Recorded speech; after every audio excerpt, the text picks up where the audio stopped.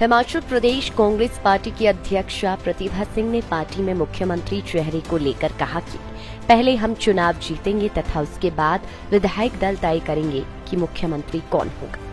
उन्होंने कहा कि भाजपा को इस बात की चिंता करने की ज़रूरत नहीं है कि कांग्रेस में मुख्यमंत्री कौन होगा। उन्होंने कहा कि प्रदेश की जनता चाहती है कि सत्ता में अब बदलाव हो। प्रतिभा सिंह वीरवार को कांगड़ा में विधायक पवन काजल द्वारा उनके स्वागत में रखे गए एक कार्यक्रम के दौरान बोल रही थी। उन्होंने कहा कि प्रदेश के चुनाव नज़दीक है। इन चुनावों के बाद कांग्रेस एक बार फिर से सत्ता में आएगी प्रतिभा सिंह ने कहा कि प्रदेश की जयराम सरकार ने विकास के नाम पर लोगों को गुमराह किया है। मोदी के स्वागत में भाजपा सरकार ने जनता का करोड़ों रुपए का खर्चा कर डाला। जहाँ तक हिमाचल प्रदेश की बात है, नरेंद्र मोदी जी यहाँ भी आ चुके हैं।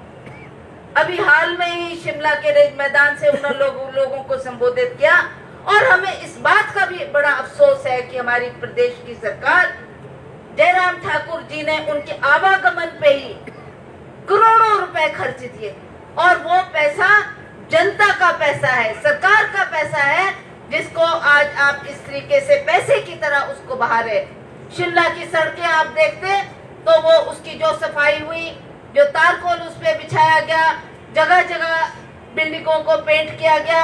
ऐसा एक नई दुल्हन की तरह शिमला को सजाया गया।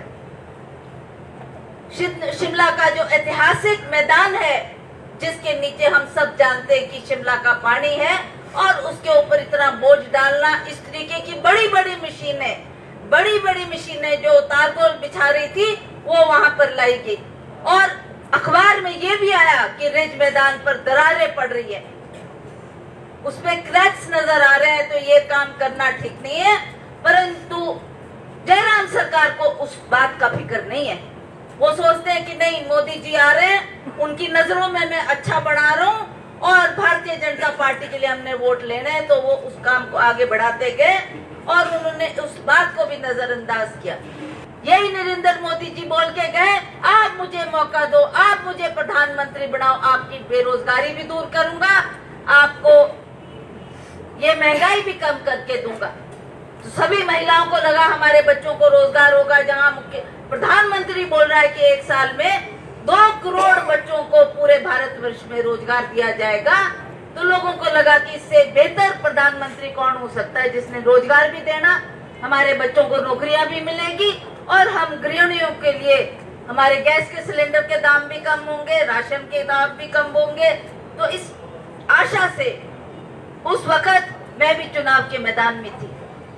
मुझे भी लगता था कि ये इलेक्शन जीतना बहुत कठिन हो गया क्योंकि हर बुज़ुर्ग हर बच्चे और न, हर नौजवान के मुँह में मोदी मोदी मोदी छाया हुआ था।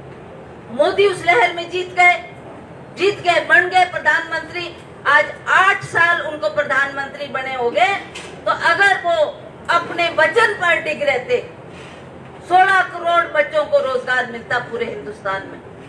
मुझे नहीं लगता कि कोई सोलह हज़ार बच्चों को भी इन्होंने आठ सालों में रोज़गार दिया होगा।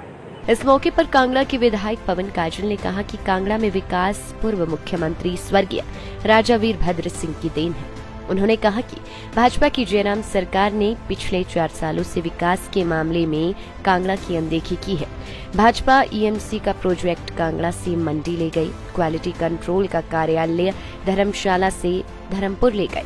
केंद्र भाजपा के नेता जो कांगड़ा में आकर जनता से वोट मांग रही हैं, वह पहले जनता को बताए। भाजपा सरकार ने कांगड़ा की जनता के साथ ये छल क्यों किया? उन्होंने कहा कि आने वाले चुनावों में कांग्रेस भाजपा को आईना दिखाएगी तथा जिला के सभी पंद्रह सीटों को अपनी झोली में डालकर प्रदेश में कांग्रेस की सरकार बनाएगी। तो मैं एक बात आपके ध्यान में लाना चाहूँगा कि मैं इसी जनता ने जो यहाँ पर आए, दलगत राजनीति से ऊपर उठकर मुझे कांगड़ा विधानसभा की ज़िम्मेदारी सौंपी थी। और मेरी किस्मत अच्छी थी कि राजा वीरभद्र सिंह जैसे मुख्यमंत्री के साथ काम करने का मुझे सौभाग्य प्राप्त हुआ। ऐसा सौभाग्य प्राप्त हुआ कि कांगड़ा विधानसभा से पिछड़ा था कई वर्षों से, उन्होंने पूरा किया। आज हम कैसे भूल जाए? यहाँ की तरह तरह की बातें भी हो रही थी।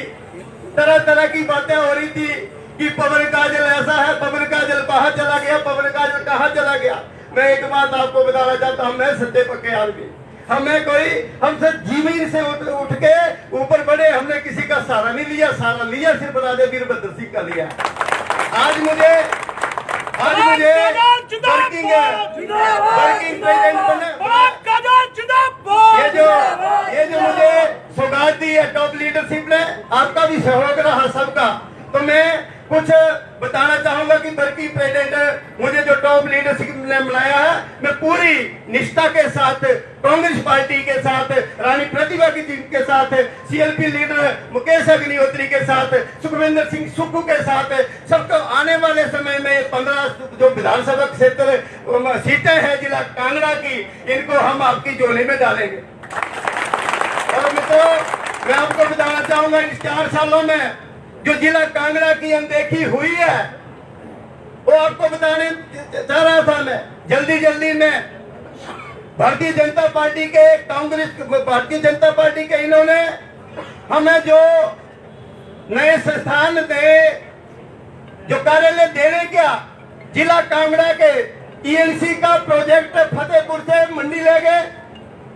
क्वालिटी कंट्रोल का ऑफ़िस धर्मशाला से धर्मपुर लेके और भी कई चीज़ें कई बातें अब वोट मांगने जिला कांगड़ा की तरफ़ आ रहे बड़े बड़े लीडर यहाँ पे आ रहे हैं मेरे को बताना चाहूँगा भैया।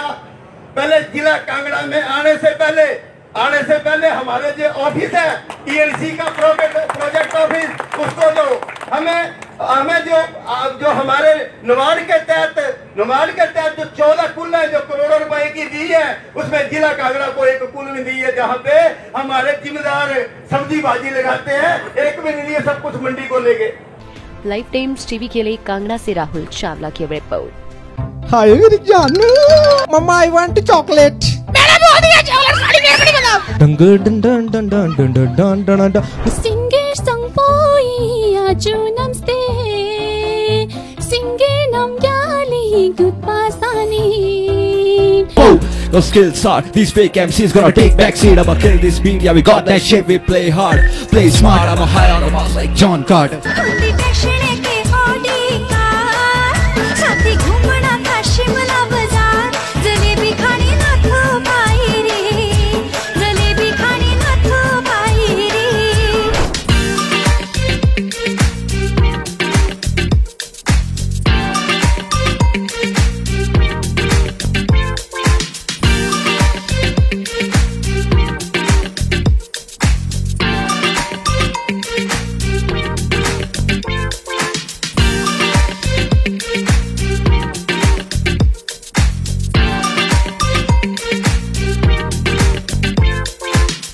Campus के कैंपस के